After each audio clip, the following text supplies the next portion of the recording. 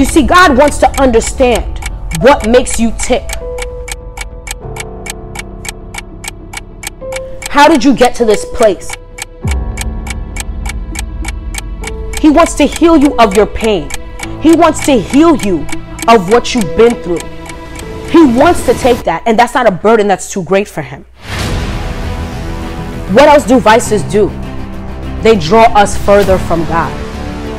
The reason being is every time God is trying to reel us in so he can deal with us, we push him away farther and farther because of our shame. When we focus on our vices and we use them to cope, when we use them for comfort, it increases fear. You find security in that habit. You find security in that bad habit. You're afraid to progress. You're afraid to move forward. You're afraid to see your life without these things that have been holding you back for so long. And if you are afraid, then you're in bondage.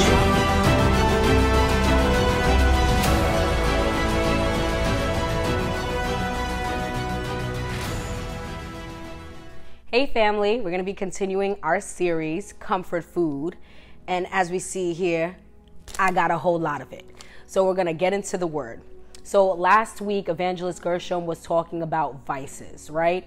And vices are you know it's it's known as immoral conduct it's known as bad habits right so a vice can be different things to different people but for our purposes we're to go into what the word of god says so starting off what is a vice right a vice is a bad habit it's something that we do that does not benefit us in any way shape or form not only that Another definition for it is that it is immoral conduct. It's something that draws us away from God and causes us to sin.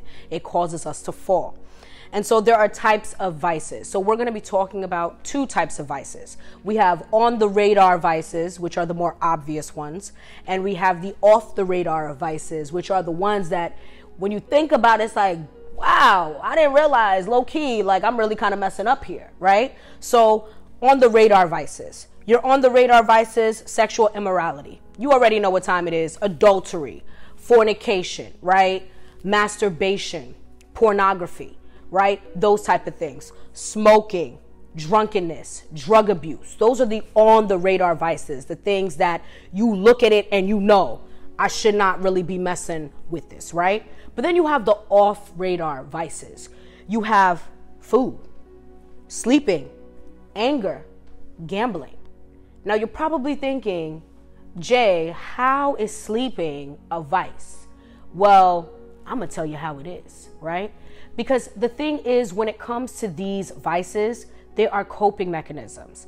And a coping mechanism is a strategy that people use to manage their stress or trauma.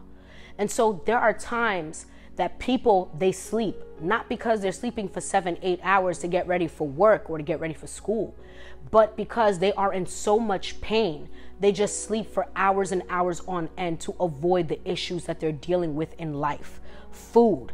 I mean, we see it all over the country. I mean, obesity is a huge problem in our country.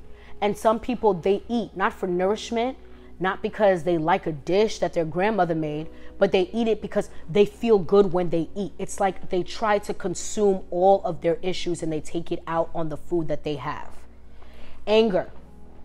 Some people, they don't understand how anger can be a coping mechanism, but it very much is because there are some people that when they get upset, they know their anger. They know the anger of their dad not being around. They know the anger of being violated when they were younger. They know the anger of just being frustrated with their situation. And so they'll punch a hole in the wall, they'll rip something apart, they'll curse somebody out, they'll just walk away and just be upset. And it's a coping mechanism. Now, what's the problem with these things? Whether it's an on the radar vice, where it's apparent, such as sexual immorality, drinking, or an off the radar food and sleeping, it's all the same for this reason. It is you putting something in front of God. It is you looking toward this thing for comfort. Because the thing is, if we're really honest with ourselves, you know what to expect when you drink, right? Because if you're drinking, you know that you can expect that you're about to get drunk. You're gonna have a hangover the next day. You're probably gonna be throwing up. You're not gonna feel well, but you'll drink some water and you'll bounce back.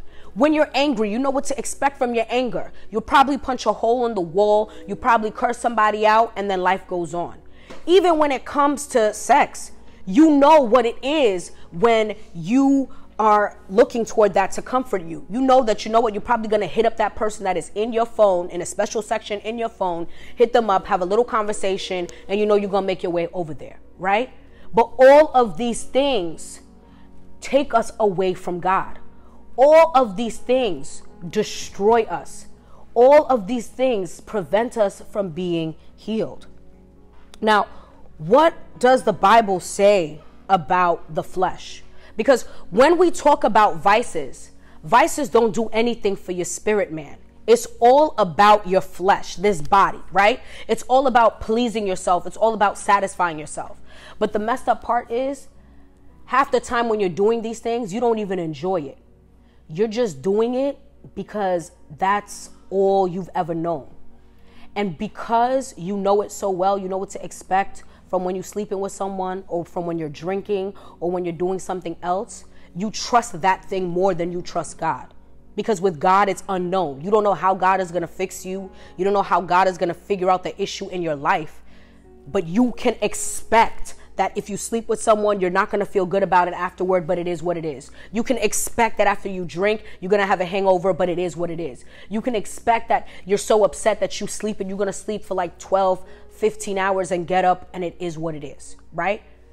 And God tells us things about the flesh. It tells us in Romans chapter 8, verses 6 through 8. Now, the mind of the flesh is death, both now and forever because it pursues sin. But the mind of the Spirit is life and peace. The spiritual well being that comes from walking with God both now and forever. The mind of the flesh, with its sinful pursuits, is actively hostile to God. It does not submit itself to God's law, since it cannot.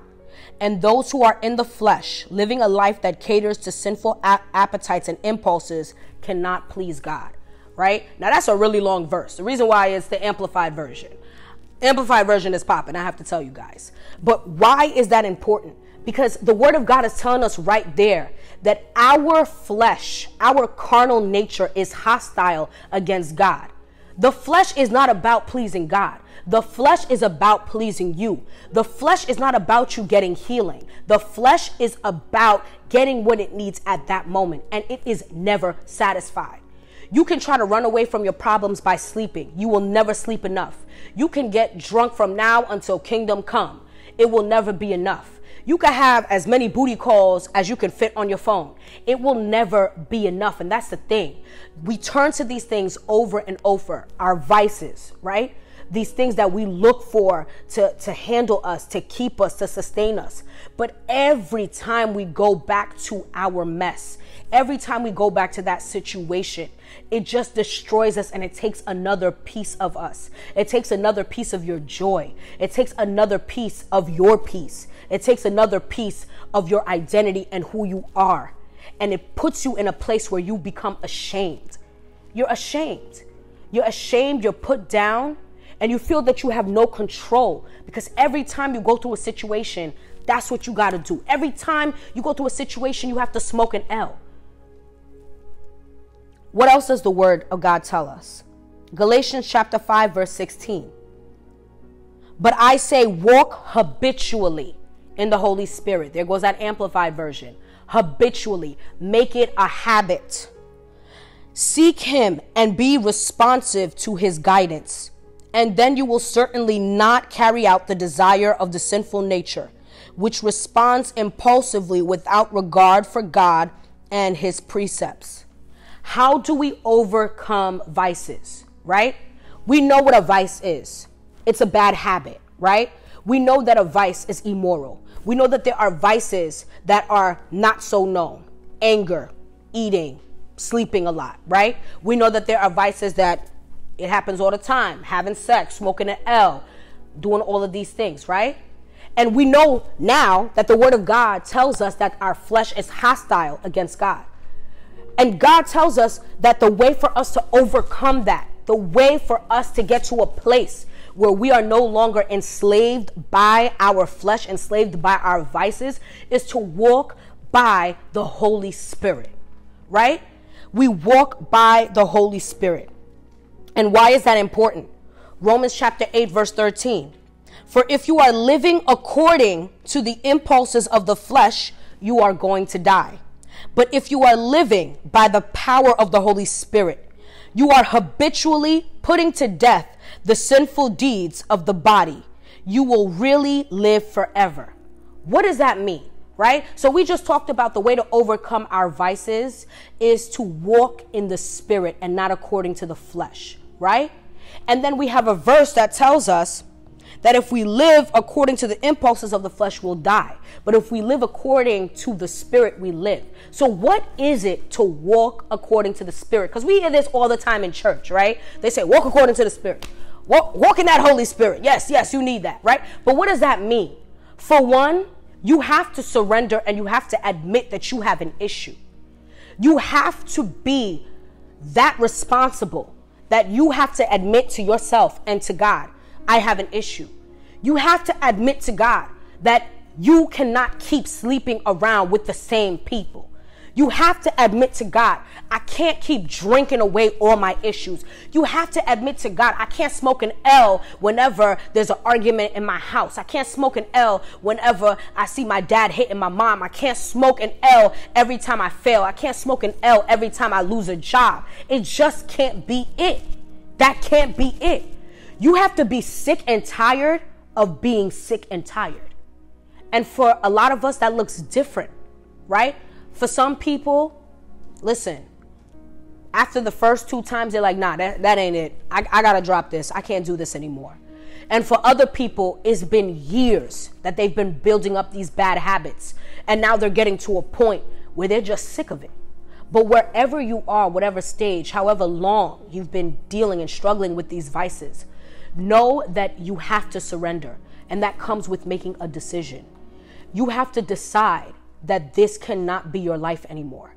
You have to decide that you want better for yourself. And you have to decide that you're going to surrender and give it to God. So that's the first step. And that's not something that you need to do out in the open, right? That's something that wherever you are right now, whether you're in your room, your living room, you're in your car, wherever, you can say a prayer to yourself God, I cannot do this anymore. I can't. I can't. It's not worth it. I'm destroying myself. I'm hurting myself. Every time I try to build myself up, it's like like I just move like 10 steps backwards. I can't move forward. What happens when we practice these vices, right? what happens when you don't take that step of making the decision that this cannot be it for your life anymore? There are a lot of things. It hinders your deliverance. A lot of times when we talk about vices, it's so easy for us to say, don't do this, don't do that, right? I can say to you right now, don't have sex before you get married, right? And you could be like, okay, but, but like, what does that mean, right? Because the reality is, a lot of times our vices are not because we want to do the wrong thing. But a lot of times our vices are symptoms of a deeper rooted issue. Sometimes our vices are things that we've suffered with from the past, and now they rear their ugly head in our present. Some people are sleeping around because they were sexually abused as a child. And so you don't feel that you are worthy. You don't feel beautiful. You don't feel that you have value. And so the only way you can have some type of peace is to give your body away because you felt it was taken away from you as a kid. And so now you want to do things on your terms. Some people, you grew up and everybody around you was drinking and smoking. And so you turn to drinking, you turn to smoking because that helps you numb your pain. It's an escape. For some of you people as children, when you would hear arguments or things happening in your home, you would run into your bedroom, you would lock the door, and you would sleep. Some people would run in the tub and sleep. Some people would run to their room and sleep. And so the things that you do right now, it's not something that just happened right now, but really think about it. This is something that you've been dealing with ever since you were a kid. And when we leave these vices unchecked and we grow, we grow as young people, we grow into adulthood. We carry all of that baggage and all those burdens with us. And we keep eating, right? We keep having the sex, we keep smoking, and we keep doing these things, but we never take the time to really address, yo, where did this come from? How did I get here? What what is driving me to do this? It's more than your vice. It's about what is your actual illness? What is it that God has to diagnose in you? What are you struggling with? Why are you angry? Why do you hold things in? Why do you punch walls when you get upset? And that's what we have to get to. So, one thing is vices, they hinder your deliverance because God wants to not only treat your symptom, which is your vice, but He wants to get to the very root of your issue. You see, God wants to understand what makes you tick. How did you get to this place? And He wants to heal you of that. He wants to heal you of your pain. He wants to heal you of what you've been through. He wants to take that, and that's not a burden that's too great for Him. What else do vices do? They draw us further from God. The reason being is every time God is trying to reel us in so he can deal with us, we push him away farther and farther because of our shame. We're ashamed. We feel like we're not good enough, we're not adequate enough. We feel like we've done too many things. I've slept around with too many people. Like I've I've I've smoked too much. I'm too far in, I'm too far deep. God doesn't want me, nobody wants me. No one sees my value. But God sees your value. But because you're so used to being broken, because you're so used to being hurt, you push God away, expecting Him to disappoint you like people. But the Word of God is clear God is not man. He is not your, your father who abandoned you, He's not your mother who abandoned you. He's not your boss that disrespects you. He's not the family member that betrayed you. He's not the friend who was speaking bad about you. He's not. Far from it. What else? Fear. When we focus on our vices and we use them to cope, when we use them for comfort, it increases fear. We become afraid. And the reason why we become afraid is you find security in that habit. You find security in that bad habit. Some people they angry on the street cursing everybody out. They have security in the fact that they could just curse somebody out and feel good. You find security in being with someone who doesn't want to commit to you. You find security in smoking. You find security in popping pills. You find security in drinking. You find security in eating Popeyes, McDonald's, Checkers. I'm talking about everything. You find security in all of those things because you're afraid. You're afraid to progress. You're afraid to move forward. You're afraid to see your life without these things that have been holding you back for so long. And if you are afraid, then you're in bondage because there's no way that you can be afraid and be free. And so our vices also keep us in a place of perpetual fear where we are unable to be set free. We are unable to know what liberty is. So you could be tuning in Sunday after Sunday, or even before the pandemic, you could have been in church, and all these people are talking about how they're free. And you're like, what do I need to do to get me some of that freedom? Because I don't feel it, right? But that may be what you need. What you need is to be set free from this thing that is holding you back, this vice. It keeps you in a standstill. You're unable to progress. You're unable to progress to the call that God has over your life. You're unable to progress to where God wants to take you because you're afraid. So you're stuck. You're always stuck. But there has to be a time that you say, enough. I can't do this anymore. And that's what God wants from us. That's what God wants. God is waiting for you, for you to say, enough is enough. I can't do this anymore. I can't let this thing rule my life. The word of God is clear. We shouldn't be mastered by anything. When Christ died on the cross, guess what? Sin was no longer our slave master. That's what it tells us. Slim, sin was no longer our slave master. We were now free, no longer enslaved to sin, no longer mastered by sin, but now we can master sin through the Holy Spirit, right?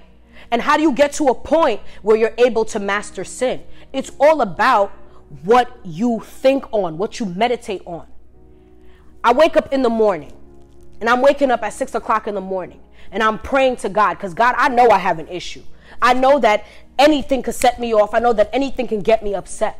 Early in the morning, I need to be in front of God because I need God to check me from the get. I can't go the whole day without God checking me first because I know that I have an issue. And so, what does that look like? waking up early in the morning and going to God and praying and being honest. I'm not talking about these over the hills and through the valley prayers where they like to show off everything that they know. I'm talking about that honest prayer. That honest prayer where you're telling God about your dirt, where God is all up in your business. You got them crocodile tears coming out, the snot coming out your nose, them real prayers, right? Those prayers where you're being honest and you being real with yourself. That God, to be honest, I'm a mess. God, to be honest, I keep doing this over and over. God, to be honest, I don't even know how to stop. Right then and there, you are making progress. What else does it look like? Reading your word. Because guess what? Christ living on earth, he gave us a standard. He gave us a standard in the way that he lived his life. And so, as you're reading about Christ, as you're studying Christ, right? And you're seeing the things that he said, and you're reading about the things that he did, you start to pick up on game and you start to understand more and more. You know what? I need to move like this. I need to speak like this. I need to carry myself like this. Christ didn't speak out of term. Whenever Christ spoke, it was the truth, but it was always with self control and it was always with wisdom. Christ was constantly in prayer. That's why he was ready for every situation.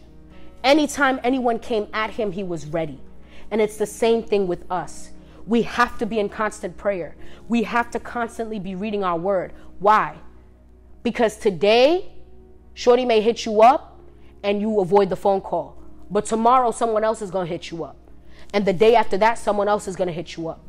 And you need to be prepared for every time.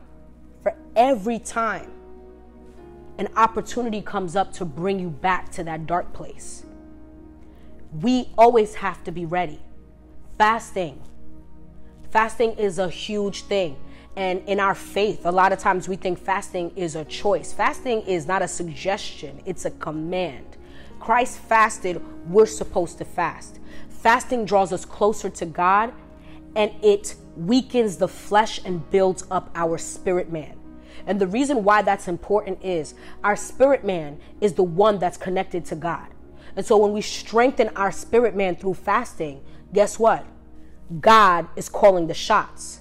But when we don't fast on a consistent basis, guess who's calling the shots? Your flesh. So when your flesh feels like doing something, you don't have any resistance. You're unable to resist it because you haven't built up your spirit man. And so these are the things that we need, people of God. We need to do better. We cannot stay in a cycle where we're hurting ourselves, where we're destroying ourselves. It can't happen. How do we know when these vices take away from God, right? Well, one of them is when you can't give it up. When you cannot give up that bad habit, that means it has a hold over you. If you cannot stop eating after a certain time, there's a problem. If you can't just block somebody's number or matter of fact change your number, is a problem. If you have to go to a party because you want to be able to drink or every time you see a bottle you need to have it, it's a problem. It's a problem. So how do you know it's it's it's you know drawing you away from God? The fact that it runs you. That whenever you see something, you already have a reaction. You're like, yo, I have to do this, I have to do this because it controls you. How else do you know that it's it, it has a hold over you? Your time. What do you use your time for? I mean, what you what you spend your time doing is what you value, right? For people who are workaholics, all they do is work, they value work. For people, they spend as much time with their family as possible, they value family. If you spend a lot of your time drinking, then you value that over God. If you spending your time just out here, you know, entertaining people in your DMs, then you value that over God. Right? it shouldn't even be a problem. If you have a problem turning off Netflix for you to pray for 30 minutes, you value it over God. And so, right then and there, it's a vice. It is taking you away from God, it's stripping you. It's stripping you. Stripping you of your identity, stripping you of who God wants you to be, stripping you of all the power that you have in you. And it should not be. So, people of God, I encourage you. You are loved by God. You are understood by God. You are cared for by God. And He doesn't want you to be in this cycle of brokenness and in this cycle of pain. There has to be a day that it stops. There has to be a day where we grow up and we say, you know what? I can't do this anymore. There has to be a day where we take responsibility for our lives and say, I'm not to go down this path. I'm to do better for myself. I don't care what family you come from. I don't care what your brother, your sister, your mom, your dad does. It's about you. And it's about what you're about to do. And so we're going to pray for those that are dealing with vices.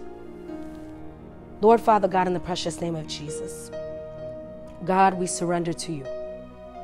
We acknowledge that our righteousness is like filthy rags.